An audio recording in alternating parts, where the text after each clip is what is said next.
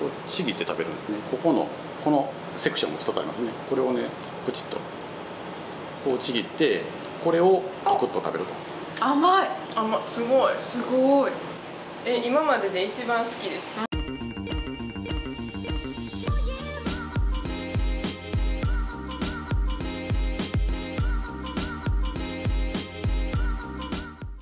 どうも。こんにちこんはにちは。こんにちは。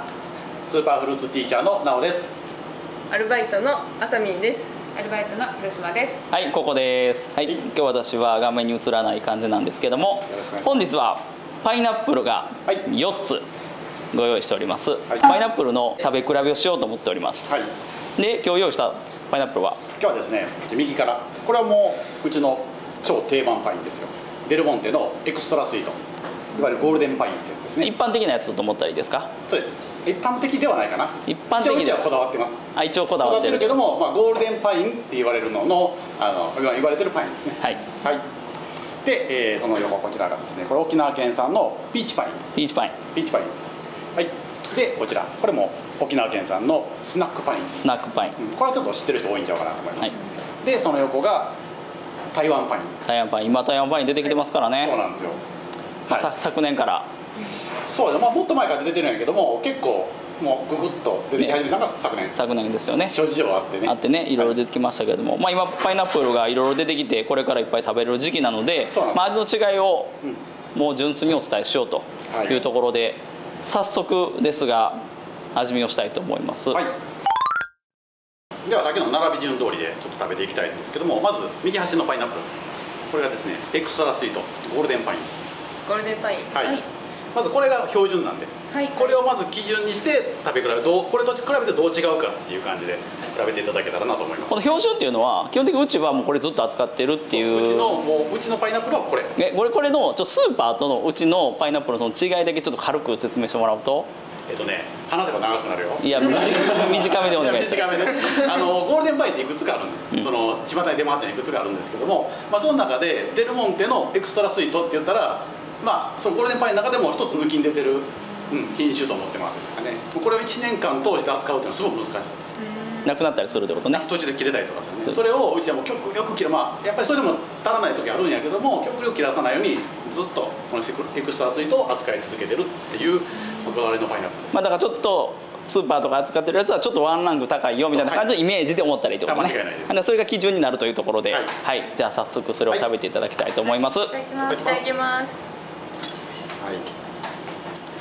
これはね、まあ、よく食べてるパイナップルなんでよく味は分かってもらえると思うんですけれども。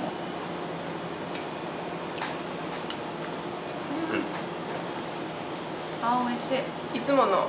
うん。うんいつもの安定の。甘さと酸味のバランスが。はい。まあこれはちょっとどんな感じか。あ食べた感じは。普段のエクストラスイートと比べたら若干ちょっと甘みが今日今日の分はちょっと足らんかなっていう感じがあるかな。ちょっと若そうやねちょっと若いですよ、これもそうやけどちょっとこれもはいはい。これも切ったのと同じぐらいのもんなんで。ちょっと若そうな。ちょっと若いですねでパイナップルは残念ながらね追熟しないんでもう切った時に熟度が確定する果物なんでそうなんですよ。あの若くで切っちゃうともうそのまんま結構これ追熟するって思ってる人多いと思う。はい違うんですよ。え初めて知りました。あえほんまに？初めて。多分結構あると思うよこれなんはで黄色くなっていくんやろうと思ってそれはねまたまた違う回で喋るけども追熟とはまた違う熟す。ね。甘みが増すわけじゃない。そうなんですそうそうそう。酸味が穏やかになると思ってもらったらい。いかなはい。うんはいではい次行きましょうか、はい。2つ目。2つ目。これ高級パインですよ、えーこれピーチパインですね。はい。はい。はいちょっと白い。そうこれはね特徴がねちょっと白い。これは熟度は十分あります。うん。てる感じわかる？うん香りがめっちゃいい。白いね、うこれがゴールデンパインね。はい。こっちがピーチパイン。だいぶ白いな感じこれ香りが特徴。すごいいい香りする。ちょっと歯ごたえある。うあ歯応えがある？うこれめっちゃええ状態。んうん。まさにこれです。美味しい。ん美味しい。これほんまはピーチパインって名前じゃないソフトタッチっていう品種なのでもこれちょっと香りあるやんか、うんこの香りが桃の香りに似てるっていうんで、うん。まあ、ついたあだ名がピーチパイン。そっちの方が有名になったっていう。っていうパイナップルです。なんか直先生が説明しちゃうとみんなの意見が聞けないので。あ。あじゃあちょっとさっきひろちゃんからピーチパインの感想どんな感じですか？はいえっ、とすごく香りが本当にパッて抜けてくるのがすごく良くてあまだもうちょっと食べたい食べたいってなっちゃいます。どんな香り？例えば。本当にピーチの。あピーチっぽい感じ。濃いうん。柔らかい感じの甘さが。すいません。影響影響され影響されてしまった。のかあさみんはどうですか？えほんまにひろちゃんと一緒でえ香りがすごい良かったのと、うん。通常のさっきのエクストラスイートはい。と比べて歯ごたえがありました、ちょっと身が硬い感じね。はい。うんそうですね。はい、はいじゃあ3つ目。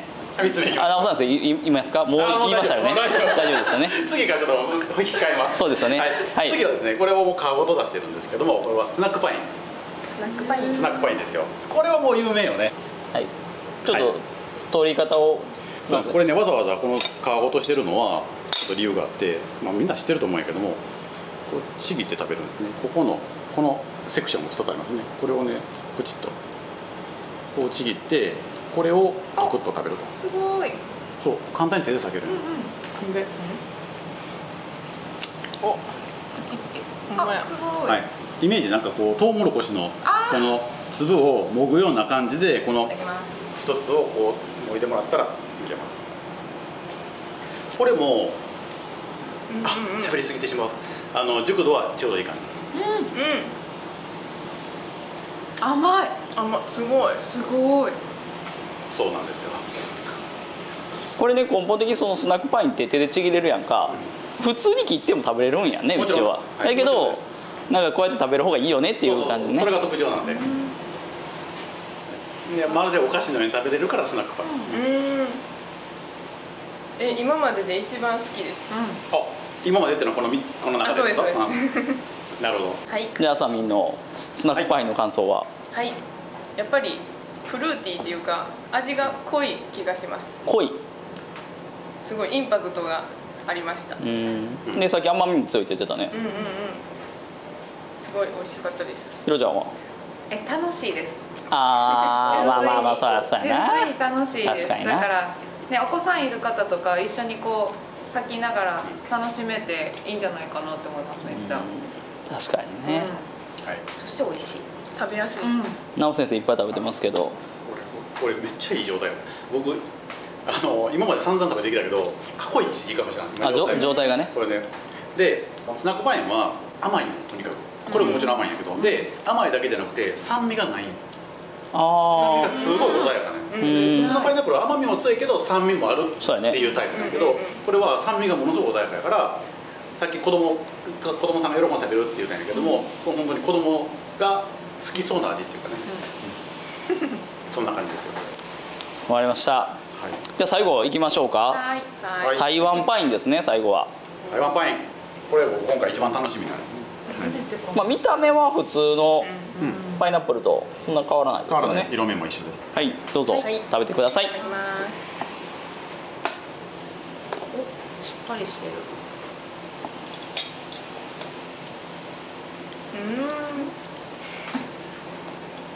うおなんか。んやっぱスナックパインの後に食べたら。あ薄く感じちゃう、うん薄く感じる。うん。美味しいけど。うん。ーちょっとこれ順番ミスったかもね。まあその辺は置いといて。じゃああさみん薄く感じるのと他はどんな感じの味ですか？えー、他。えなんか酸味も全然ないし、うん。甘みもそんなに感じああほんだもう全体的に薄い感じひろちゃんも食べ応えはありますね。なんかしっかりめで。歯応えは？うん歯応えはあって。でもちょっとやっぱり味薄く感じちゃいます、うん。これはねあの僕はもう台湾パインに謝りたい。これはね 順番ミスっていうかスナックパインのポテンシャルが高すぎてうんで僕あの本来の全部同じ熟度やったとしたら台湾パインの方が圧倒的に甘い甘いんですよ。だからやっぱり最後に味強いものを食べてもらった方が僕がボケないかなと思ってこうしたんやけども、うん。このスナックパインがちょっと頑張りすぎたそう僕だだって僕だ今まで食べた過去一甘いからねこれ。美味しい、えそう。美味しかっで、まあ、僕が今までずっと食べ続けた感じだと、えー一番甘いのは大体台湾パインの方がポテンシャル甘みのポテンシャルが高いと思ってもらって間違いないかなと思います。ではい。系統はこのスナックパインと同じ系統のパイナップルなんですよ。うんなので酸味が穏やかで甘みが強いっていうのが本来の台湾はい、っていうところですうね、ん。じゃあ今日はちょっと甘みが、まあ、熟度とかの問題もかな、いやね、そうこれもねそんなに悪くない。んよ悪くないんやけどあスナックパインが良すぎたってことか良すぎたっていう。美味しい。美味しい。まだ食べたいってなる。誤算でしたこれは。はい。また見本が戻ってきたんですけれども、はい。直先生これ大体でいいので、はい価格。これなんですね。あ教えていただきたい。んですサイズがこんだけ違うんで、うん。ちょっと単純に比較はしづらいんですけども大体このエクストラスイート。こちらは大体800円から900円ぐらい、うん。うん、1000円いかないぐらいですね。はい。でもうちょっとちっちゃかったら安いものもあります。でこちらピーチパイ。ンこれもだいぶ季節で値段ばらつきあるんですけどもこのサイズでだいたい800円から高かったら1000円超えてくる感じかな、うん、でこちらスナックパインですね。スナックパインもピーチパインとほぼ同じぐらいですね。えー800円台からだいたい1000円、まあ、1000円超えるかどうかぐらいの。ですまあ、エクストラと比べてもね半分ぐらいで値段変われへんからねもう高いっちゃ高いよね。そうですね。まあ国産ですからね。はい。で台湾パインは？台湾パインはこれもねかなり味あの値段にはばらつきあるんですけどもこのサイズで、えー、大体600円ぐらいですかね。うーん。はい。まあ、そう考えるとまあ普通な感じそうですね。あのものすごくお買い得です、うん手頃で。台湾パインは値段が崩れることがあるんでものすごい安い値段で出回ることがまあ稀にあるあると。というところですね。はい。はい。まあ今日4つ食べ比べしてもらいましたけれどもあくまでこれは生鮮品なんでもう素材の状態や、ね、発育状況にもかなり左右されるのでぶあくまで今回のものはまあ参考にしていただくと。はい。いうところで見ていただけたらいい動画かなと思ってるんですけれども、はい。まあ今後どうですか？どれぐらいの時期まで出てくるんですかね？この国産であったり台湾パインっていうのは。台湾パインは、えーこの中やったら一番なくなるのは早いですかね、えー、大体5月6月6月まではちょっと厳しいかなっていうところですかね、6月6月末までってこと？えー、6月にはあ6月入ったらもうなくなっててもおかしくないあもうそんなうんすごい。ところですかね、はい。沖縄勢ここはピーチパインの方が若干あの栽培数が少ないんでなくなるのは早いんですけども、まあ、6月6月いっぱいは十分いけます。でこっちのスナック。パイン。こっちは栽培の量も多いんで、えー6月言わず7月ぐらいまで十分いける量が供給されるんですかね。まあ、スナックパインがだから供給量多いのは、まあ、今言った人気があるからやっぱ増えてきてるのかな。そうですそうです、まあやっぱりでまあこの子は一年中ありますと。ということですよね。はい。はい、まあ、今回、まあ、ちょっとみんなに食べてもらって味の感想を言っていてもらいましたけれども、はい。これを参考にしてもらって今ちょっといろんなねパイナップルが出てるので、まあ、自分の好みを探して買ってもらったらいいかなと思います、はい。なところでいいでしょうか？はい。では次回もよろしくお願いします